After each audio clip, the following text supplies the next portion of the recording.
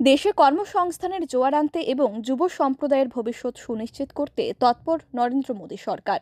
এবার দেশে digital apprentice frame work প্রস্তুত করতে বিশ্বের অন্যতম টেক সংস্থা কগনিজেন্ট এবং নেসকমের অধিকর্তার সঙ্গে শুক্রবার বৈঠক করলেন কেন্দ্রীয় মন্ত্রী ধর্মেন্দ্র প্রধান।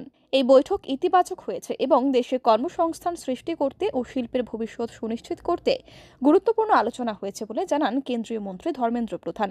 কগনিজেন্ট এবং ন্যাসকমের সঙ্গে বৈঠকে বিষয়টি জানিয়ে টুইট করেছেন কেন্দ্রীয় মন্ত্রী ধর্মেন্দ্র প্রধান।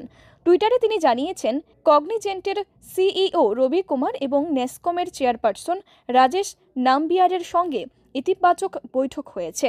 আমাদের দেশের বিশাল যুবশক্তির ভবিষ্যৎ সুনিশ্চিত করতে এবং কর্মসংস্থান বৃদ্ধি করার বিষয়ে ভালো আলোচনা হয়েছে।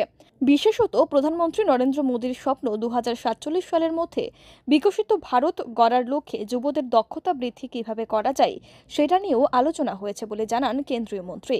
কেন্দ্রীয় শিক্ষা ও কারিগরি উন্নয়ন মন্ত্রী ধর্মেন্দ্র প্রধান আরও জানিয়েছেন, বর্তমানে কৃত্রিম বুদ্ধিমত্তা কাজের জগৎকে বদলে দিচ্ছে। যেহেতু গোটা বিশ্ব এআইকে গ্রহণ করে তার সঙ্গে কাজের ধারার পরিবর্তন করছে, সেহেতু আমাদেরও যুব প্রজন্মের কাজের ভবিষ্যৎ সুনিশ্চিত করতে তাদের দক্ষ করে তোলা জরুরি। তাই ডিজিটাল অ্যাপ্রেন্টাইজ ফ্রেম ওয়ার্ক প্রস্তুত করতে এবং ভবিষ্যতে শিল্পের জন্য যুবদের প্রস্তুত করার বিষয়ে কগনিজেন্ট এবং ন্যাসকমের অধিকর্তার সঙ্গে আলোচনায় বসেন এবং সেই আলোচনা ইতিবাচক হয়েছে বলে জানান ধর্মেন্দ্র প্রধান।